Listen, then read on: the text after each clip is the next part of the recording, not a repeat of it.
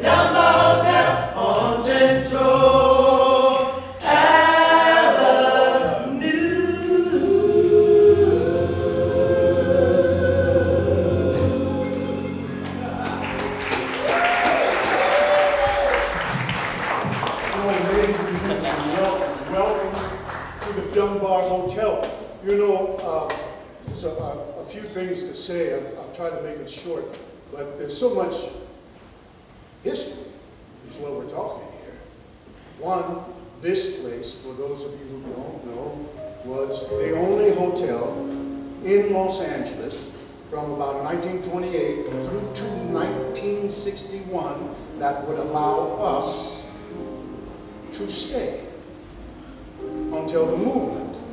And so you can imagine what the Dunbar represented on Central Avenue, which in its heyday was the Central Avenue of the community, of the black community here in Los Angeles. And over the last three or four years, when, uh, in the past three or four years, Dunbar has been renovated. And there's about 70 rooms here, most of them occupied by seniors. Jan Perry, if you look at the plaques on the outside uh, in the agrarian there, you will see that Jan Perry was instrumental in finding the funding to renovate the Dunbar Hotel because it had really fallen into a state of disrepair. But she managed to get the city council to find the budget to do it. So here's a salute to Jan Perry.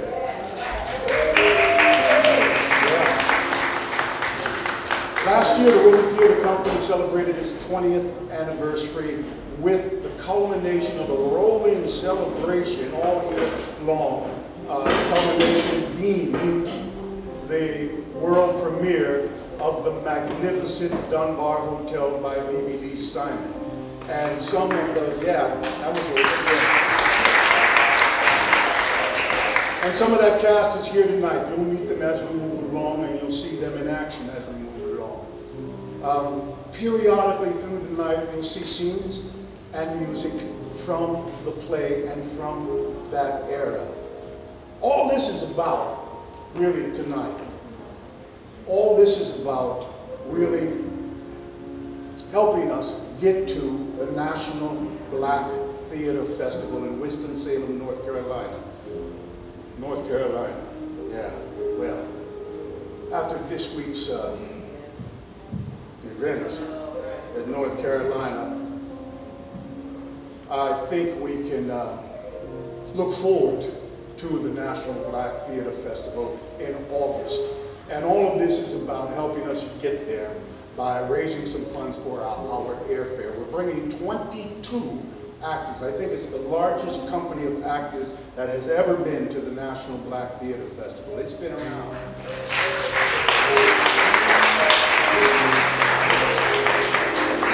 It's been around since 26 years. It happens every other year. And uh, from all over the world. 35 companies are usually invited out of dozens and dozens who are submitted. 35 companies are invited over about a week's time. Each of those productions is mounted three to four performances in all of the venues in North Carolina, the professional venues and the university venues there. There are several universities in North Carolina. And uh, they're all very active, and, and the uh, city, even with its Confederate reputation, welcomes the National Black Theater Festival and really supports it. So it's a good thing. It's a good thing. Again, to all of you, welcome to the Dunbar Hotel. Thank you. There are some faces here, some audiences here that have been with us for a long time that has supported the Robey Theater Company and believe in what we do, support our mission, and we are just very, very grateful to you. Hi, Ashley. and uh, just appreciate your support. Wanted to thank you again. So, here we go. Julio. Hanson, An Invitation to Love, one of Paul Laurence Dunbar's poems. Come when the nights are bright with stars, or come when the moon is mellow. Come with the sun, his golden bars drops on the hayfield yellow. Come with the twilight soft and gray. Come in the night or come in the day. Come, oh love, whenever you may, and you welcome, welcome. You are sweet, oh love, dear love. You are soft as a listening dove. Come to my heart and bring it to as the bird flies home to its welcome nest. Come when my heart is full of grief, or come when my heart is merry. Come with the falling of the leaf, or with the reddening cherry. Come with the year's first blossom blows. Come when the summer gleams and glows. Come with the winter's drifting snows, and you're welcome, welcome.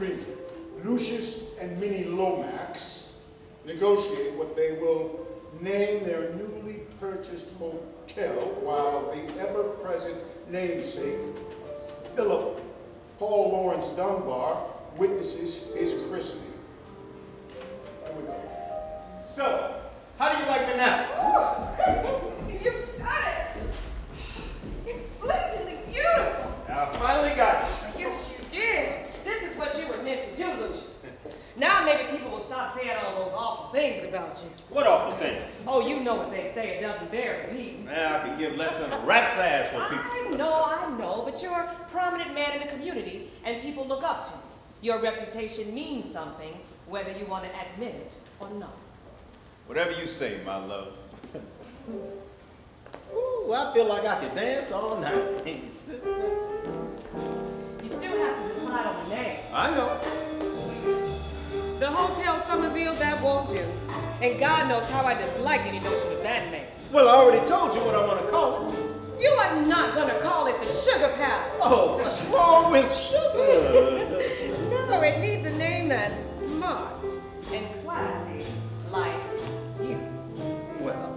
everybody likes sugar. Well, I don't let you. Sugar Palace. Then don't complain about it taking me so long. Come on, join me. Let's let's conjure up some spirits. Be careful what you ask for.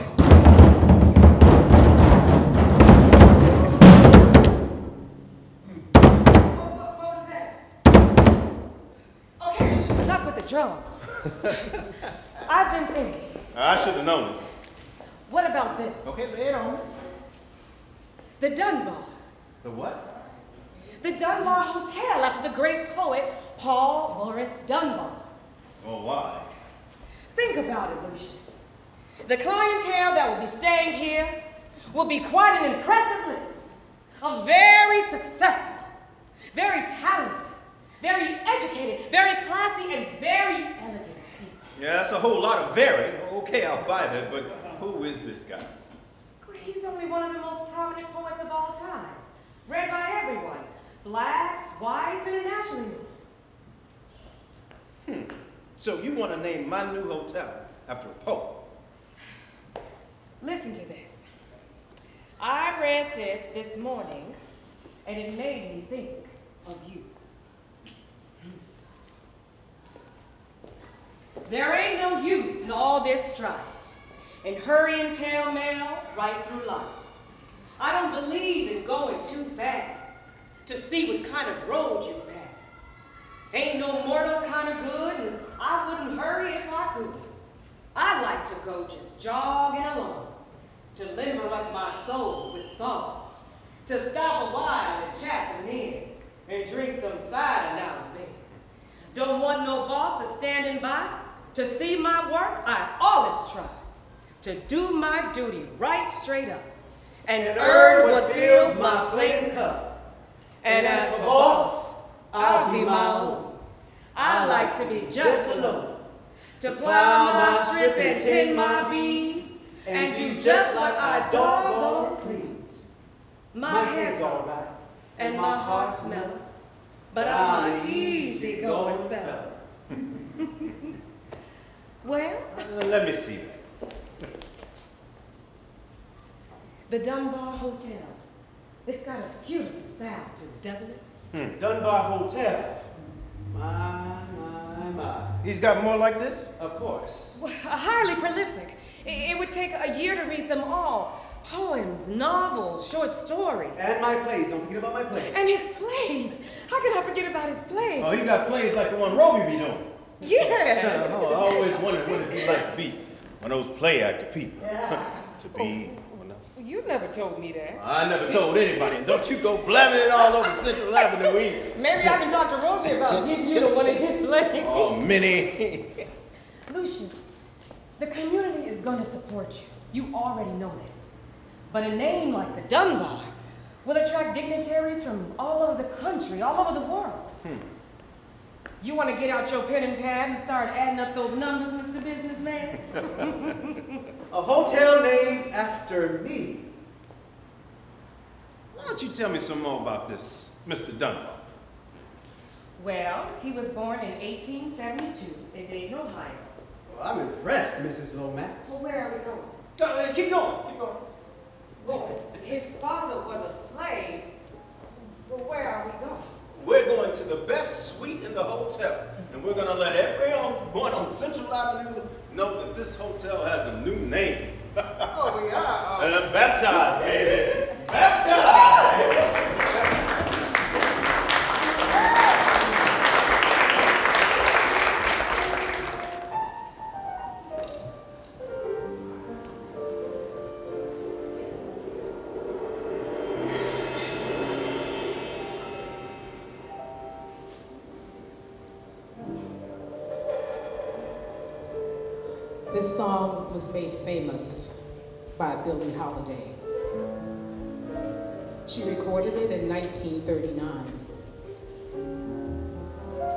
Most people feel that she wrote the lyrics, but that's not true. The lyrics were written by a young Jewish school teacher from the Bronx, New York. She was singing about the lynchings back then. But I'd say we could be singing about the modern day lynchings now.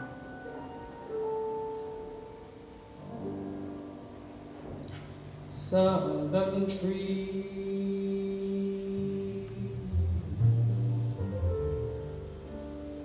bear strange fruit.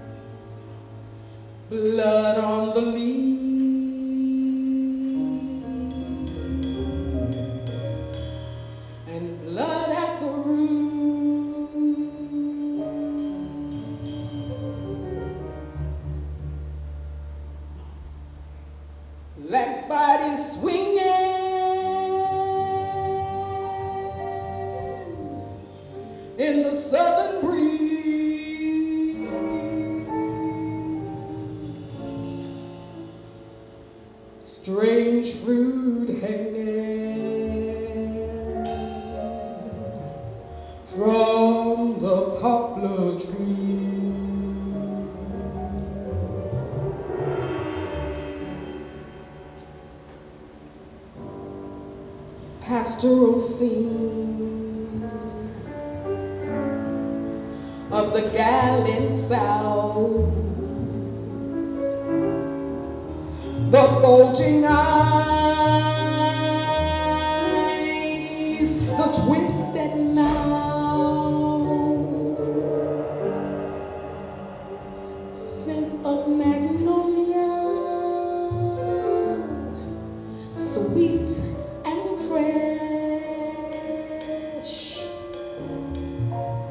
Then the sudden smell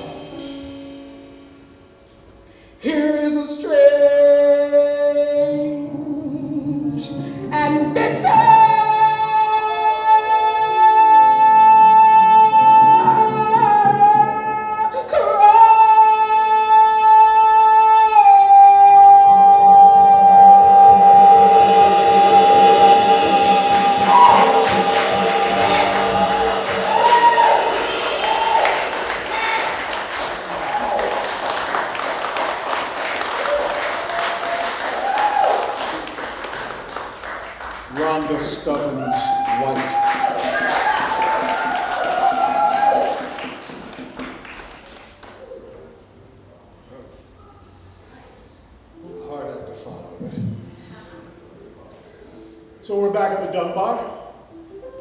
It's morning at the Dunbar where we find the staff, guest, owner, and the spirit of the hotel engaged in a familiar repartee.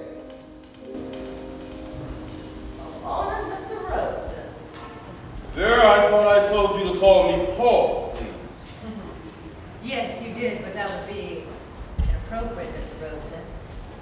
wrong idea. Well, she can call me Paul anytime she desires. Why? Because you know me by my first name? No, because people may think I'm becoming too familiar with the great Paul Robeson. You know, they may think I know you too good. Well, too well.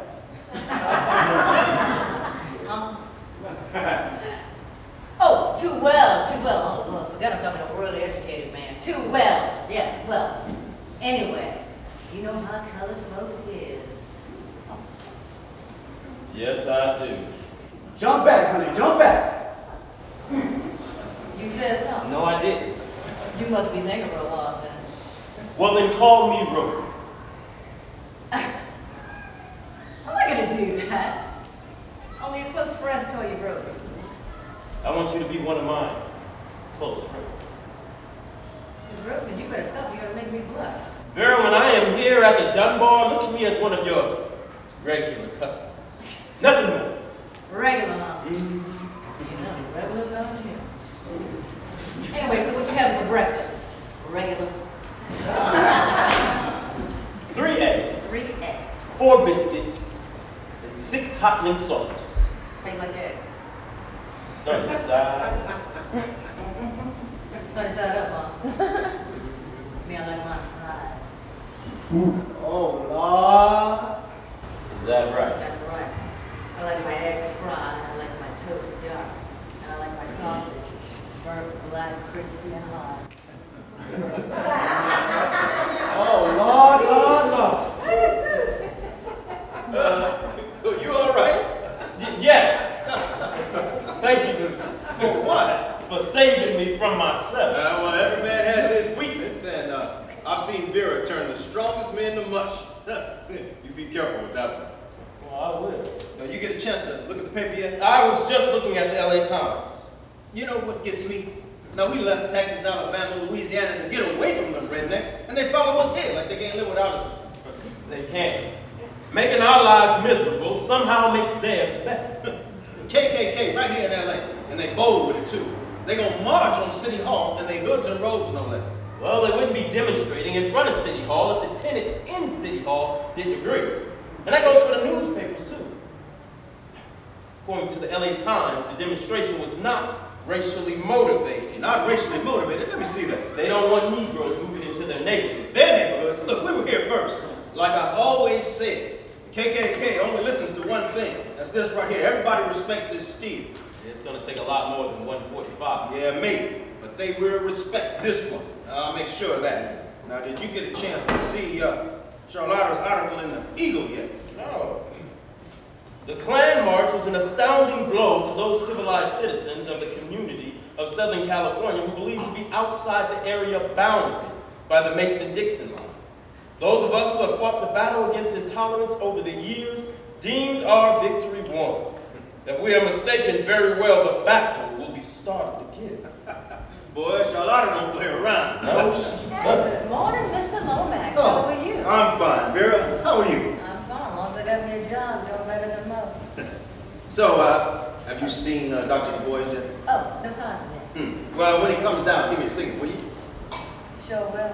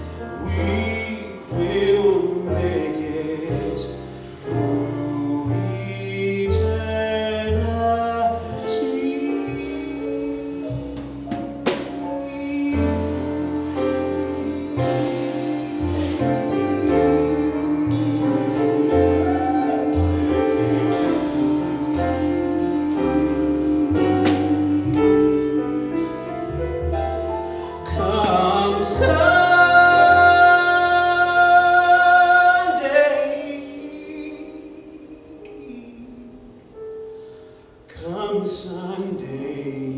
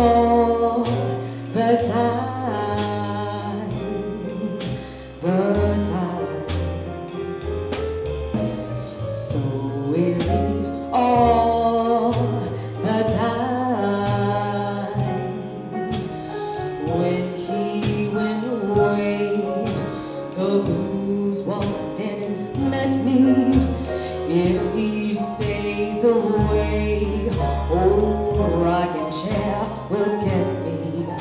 All I do is pray the Lord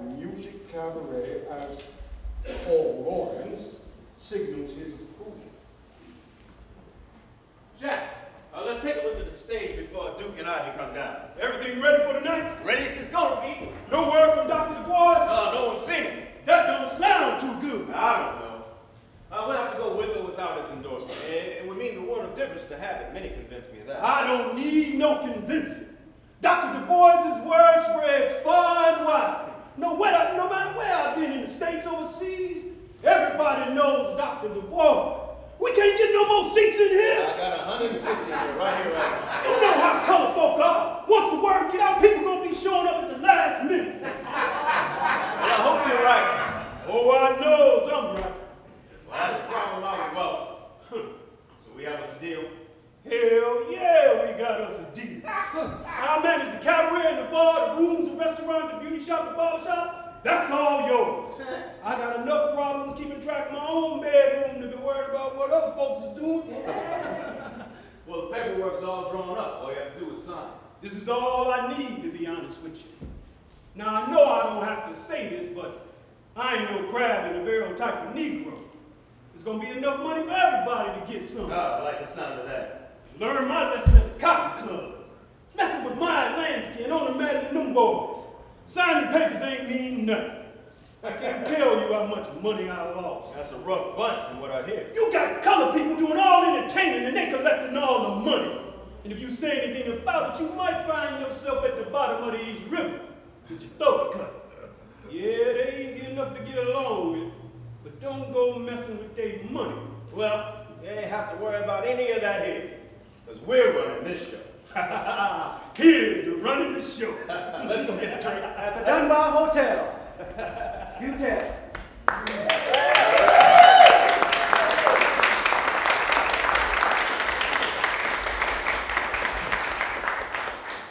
Here she comes again, lady.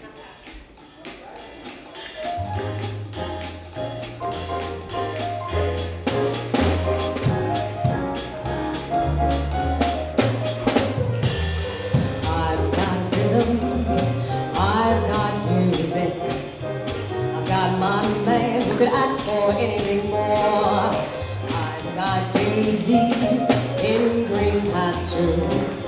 I've got my man who could ask for anything more. Old man trouble, I don't mind him. You won't find him round my door.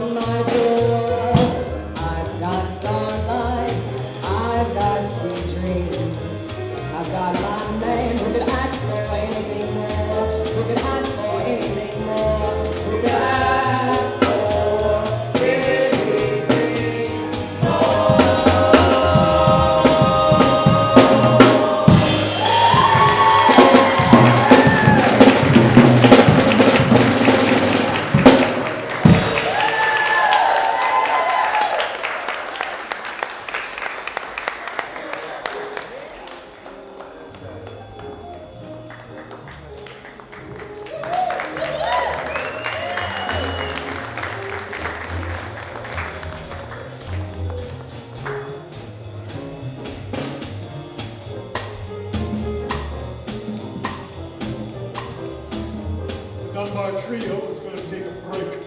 Boy, have they earned it, have they not? Yeah.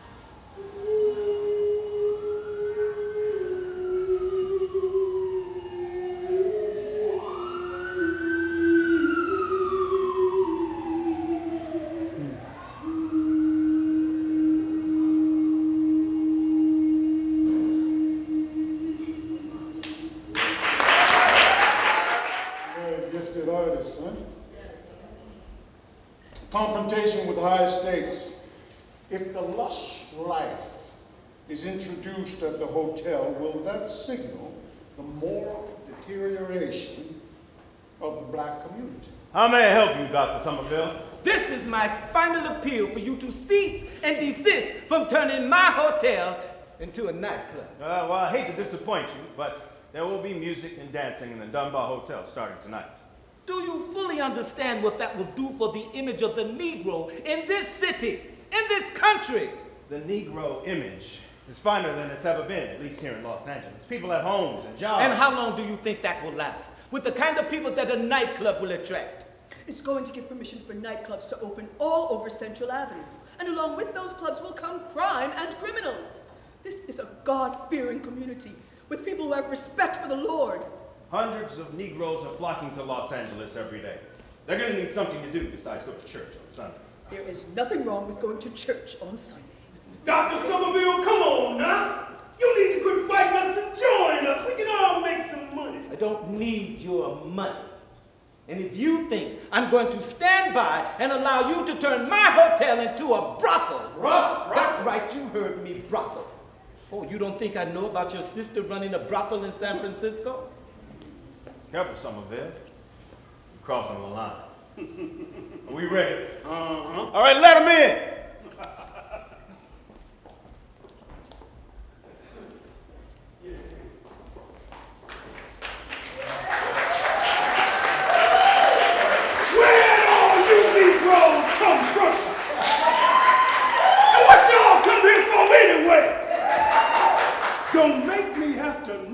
は。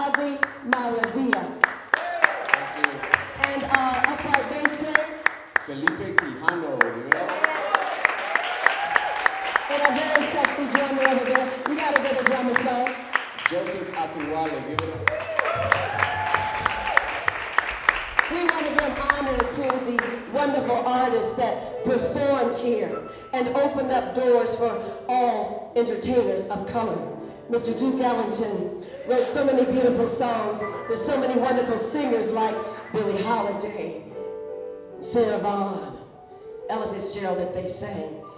And uh, this was a song that Ivy Anderson did sing. And ladies, you know what I'm talking about. You got a man that feels good.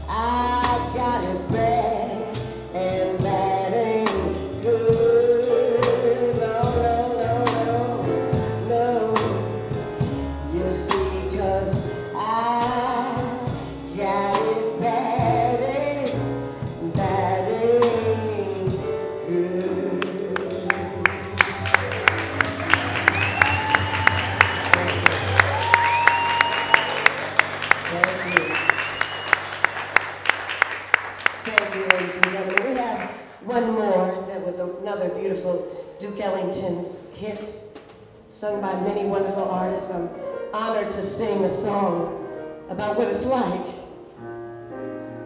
to be alone.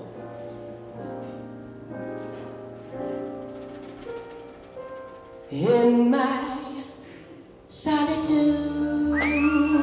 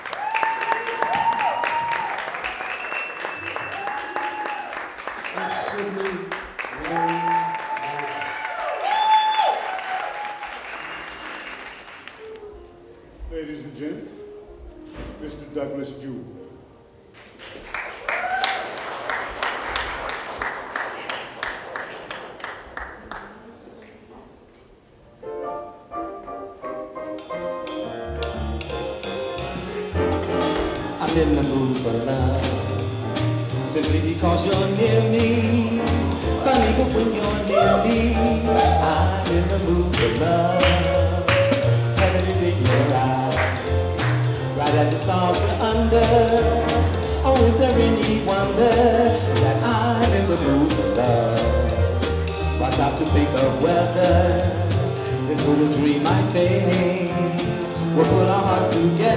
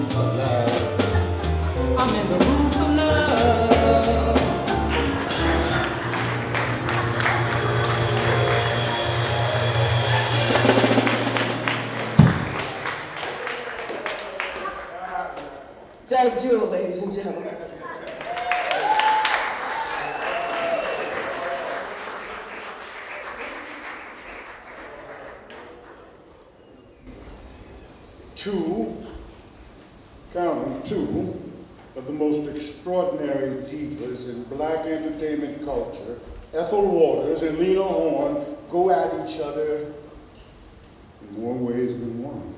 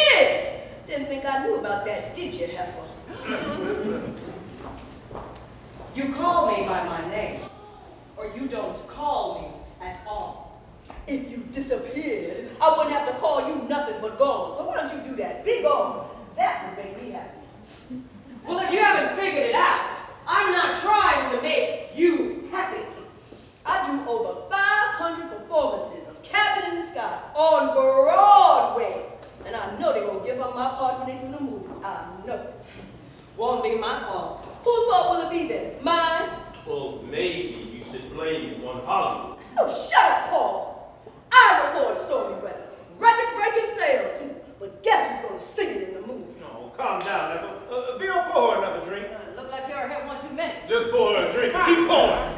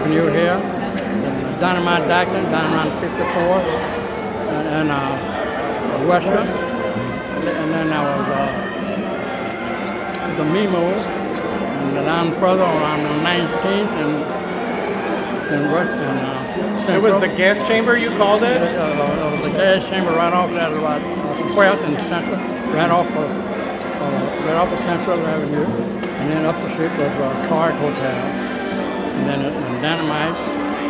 Yeah, those were good times at that time. I was in my late 30s, uh, uh, early, uh, late 30s, and of course, and just like anything else, I was a Saturday nighter. I didn't, I didn't do much uh, drinking on during the week. But Saturday night was the time when I was out, and that's when I made made this avenue uh, uh, a part of my life at that time. Thank you for listening. Thank you. Can you say your name one more time? My name is Ara C. Morris. M O R R I S.